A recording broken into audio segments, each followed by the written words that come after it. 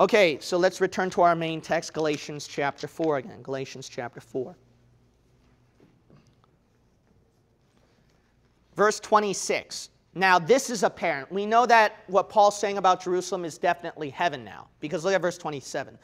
But Jerusalem, which is above, see that? He's talking about all the way up there, that Jerusalem. So that has to be heaven. Is free. That's right. We're free from the law. Jerusalem is free, which is the mother of us all. So Paul says that Jerusalem is our mother homeland. Now, the one people, group of people who are so weird that comes out saying that uh, God has a wife, and it's like, what? God, yeah, you got a spiritual mother. We're like, what in the world? And then this is our verse. See, Jerusalem, which is the mother of us all. Now, I already explained to you what this was. This was talking about like a mother homeland. See? Have you ever heard of, you know, people talking about Mother Russia or that America is my mother homeland and etc. etc.? Places are naturally referred to as our mother. Why? Because we were born from there. That's the idea. By the way, Paul told you a long time ago at verse 24, it's an allegory. See, that's the danger of literal interpretation. Literal interpretation can make you produce heresies, like this kind of mother of uh, this church of the God or mother God weird movement out there. And these people are claiming there is a literal mother God. No, it's an allegory, okay? You didn't even read verse 24. You're just search wording everything that says mother and you're hoping by chance you'll hit one of those verses that we have a spiritual mama out there, man. So this is their problem. Now look at Revelation chapter Revelation chapter 21. Look at right here. This Jerusalem is going to be for us. Revelation calls this the new Jerusalem. So this is going to be our place, our mother home, where we're going to reign forever place for Christians. What a wonderful day. Man, I want to thank God that there is no mother God, but rather a mother homeland for me where I can live and inhabit, man. Thank God for that. All right, so let's look at Revelation chapter 21. Notice what the Bible says right here, verse 2. And I, John, saw the holy city, New Jerusalem, coming down from God out of heaven, prepared as a bride adorned for her husband.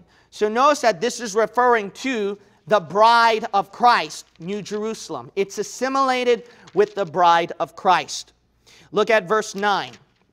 There came unto me one of the seven angels, which had the seven vials full of the seven last plagues, and talked with me, saying, Come hither, and I will show thee the bride, the Lamb's wife. Who is she?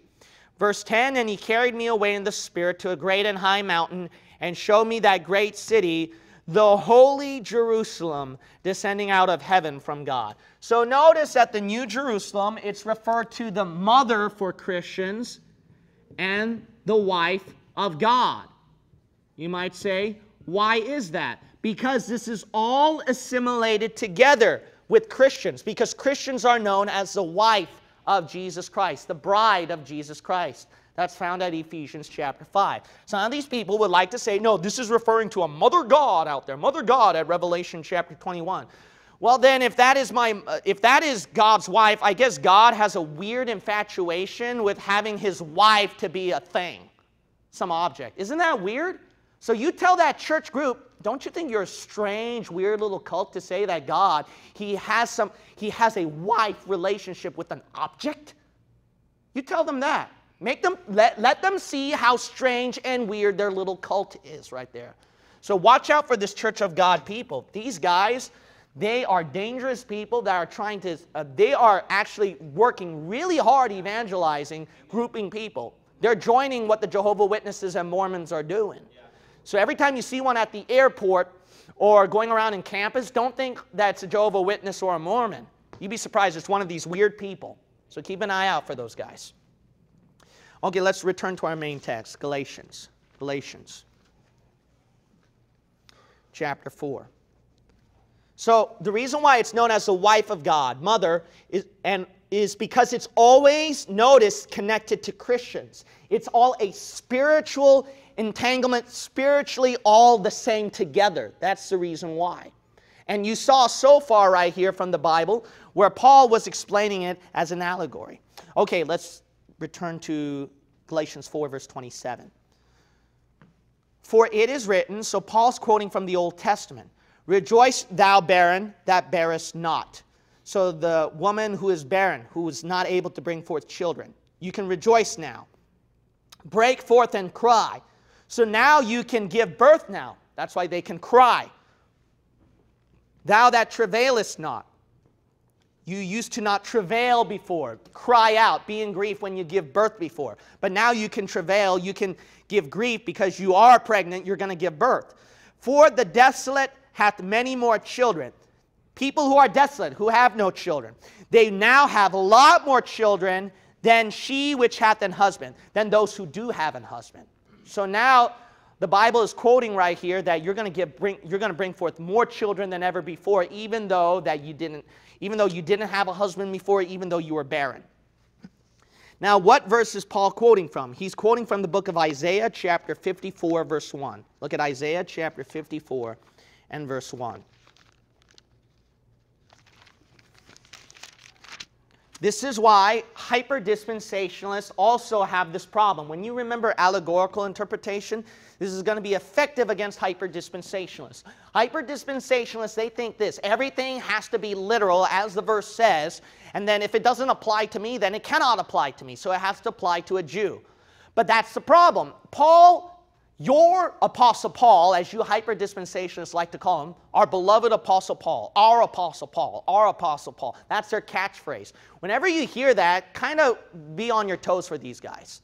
It is true, Paul is our apostle, but look, we don't say that like a, like a parrot, our Apostle Paul, our Apostle Paul, our, we, we don't act like parrots doing that. So if you hear somebody doing that, they, they learned it from somebody else. They were parroting from somebody else, okay? So, anyways, the Apostle Paul, he was using an Old Testament verse and applied it to the Christian church. Amen. What do you mean there's no Old Testament verse that doesn't apply to us? Look at this, man. Look at the book of Isaiah. Look what Paul did right here. Paul, he was quoting from an Old Testament passage, and you can see right here that he was not a hyper dispensationalist. Verse 1 Sing, O barren, thou that didst not bear. Break forth into singing and cry aloud, thou that didst not travail with child. For more are the children of the desolate than the children of the married wife, saith the Lord. Now, if you keep reading from verses 1 and onward, that was referring to the nation of Israel. That is doctrinal, that is literal, that is prophetic, that has no application to the Christian church. But Paul, he takes this passage and applies it to the Christian church. So you can tell your hyper dispensationalist friend here that, um, so Isaiah chapter 54, verse 1, so we can't make that a allegorical spiritual interpretation, right? Uh, no, it's got to be doctrinal and literal. Okay, then, then Paul was using this verse as a doctrinal, literal application to the Christian church in your Old Testament. That don't make things better. that makes things worse for the hyper-dispensationalists. So why did Paul quote this Old Testament verse? Very simple. The reason why is because the Bible is not limited to doctrinal, literal interpretation. Again, what is it bound as well? Symbolic, allegorical, spiritual interpretations. Look at the book of 1 Timothy. Look at the book of 1 Timothy. It is very important to understand this. Got to watch out if you don't believe in this kind of interpretation, you see where it does lead down to a trail of heresy. It will lead you down to a trail of heresy where it is actually hyper dispensationalism or some or the Catholic Church with their mass or some kind of weird mother of God movement. I think that God has a literal mother out there, which is so strange. Okay, so actually 2 Timothy, excuse me, 2 Timothy chapter 3, verse 16, verse 16. It is important to understand that in Bible rules that we use all of the Bible. You know what dispensationalists believe? Not the Apostle Paul's writings only. It's all of the Bible. Amen. All. All of the Bible divided doctrinally to the right group of people, right time period, spiritually in the right sort of application, devotionally in the right application, etc. That's a true Bible believer. Let's look at 2 Timothy chapter 3 verse 16. All scripture, did it say some or all? All is given by inspiration of God and is profitable for doctrine, but not just doctrine, for what as well? for reproof, excuse me, for correction, for instruction in righteousness, that the man of God may be perfect, thoroughly furnished unto all good works. And that's your beloved Apostle Paul saying that. So watch out for these hyper dispensations. Oh, Pastor, I didn't like how you use that passage at the book of Hebrews or in the Old Testament. It has no application to us, blah, blah, blah, blah, blah. No, you better watch out for that. That's a hyper dispensational mindset. You better watch out for that mindset. Okay, so let's return to Galatians. If you don't like me, I'm going to tell you what, I'm more Pauline than you are. I follow the beloved, my beloved Apostle Paul more than you because the Apostle Paul was quoting Old Testament verses. So he was trying to apply, you can tell right here, he was using a spiritual application, not doctrinal, a spiritual application within the Old Testament to apply to the Christian church within this allegory. About what? Now she can bring forth birth now. Who and before she couldn't. Remember Sarah, she was barren back then, but now there was a miracle where she can bring forth a child. So Paul was trying to relate to that fact. Look at verse 28. Okay, I got to close right here. I thought that I'd finish up to 5 verse 10, but I spent a lot of time. Okay, so let me wrap it up here. This is the end. Verse 28. Now we, brethren, so Paul's saying, all of us, as Isaac was, are the what? Children of promise. So that's your getaway. So we were guessing, we already knew where Paul was heading toward. He was trying to point out that this was referring to Isaac as the child of promise. That's who we are. Because back then, we were no children back then. We were barren. We didn't even exist. Why? Because God's people was the nation of Israel, Jews. Gentiles, Jesus said, I have nothing to do with you. But he was transferring, transitioning more and more to Gentiles. We were that children of promise by faith. That's us. Now, there's one more last thing that I want to say. There's a weird group of people you got to watch out for.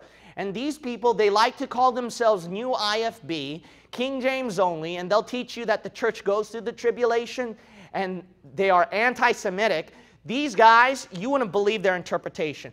Because they strongly believe that the nation of Israel, that they are completely forsaken, that God won't forsake them, because they think the church is the actual nation of Israel, they're going to use this verse at verse 23 or 22 all the way to 30 to say, you know who the real Jews are? Us. Why? Because we came from Isaac.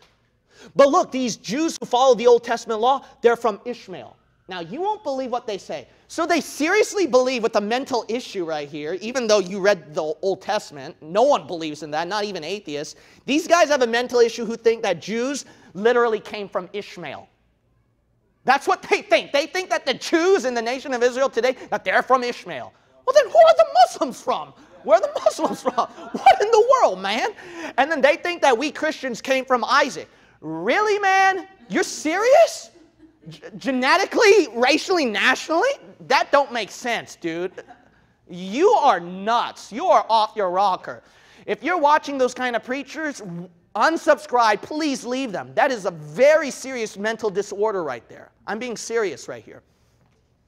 The easy answer to this, we repeated it over and over again. There's a danger with something literal. Remember that? If you keep doing things literally, you see how many heresies come out. What is the interpretation here? Paul repeated over and over again at verse 24 that I stress so much. Ah, allegory. Allegory. That's what Paul was driving at, okay? If you're going to take this as some doctrinal, literal interpretation, dude, you got a mental disorder right here. I mean, I, that don't make sense. So, this is the passage where, where Paul is talking about right here, where we became the actual Jews, what? Spiritually. Spiritually in God's family. Not physically, nationally, genetically, racially. No, that is totally different. By the way, the Bible mentions, I showed you over and over again from the passage, at the book of Galatians and even at the book of John, the four gospel, Jesus and Paul recognized that these Jews were what? They were God's people from Abraham by the flesh. They recognized that, see?